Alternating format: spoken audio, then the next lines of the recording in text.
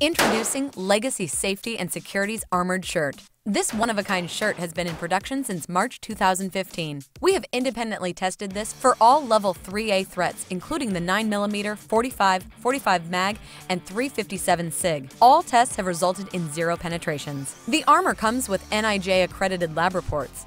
And although NIJ requires BFD to be under 44 millimeters, ours is a very low 28 millimeter after six shots, lowest in its class. The shirt is made of compression and has no Velcro or strapping, and unlike traditional vests, this is washable. We are introducing our dual threat panels, which stop all 3A and hand stab threats all in one panel. Legacy Safety and Security's Armored Shirt. Comes in various colors, and we're now making this in 2XL with larger panels.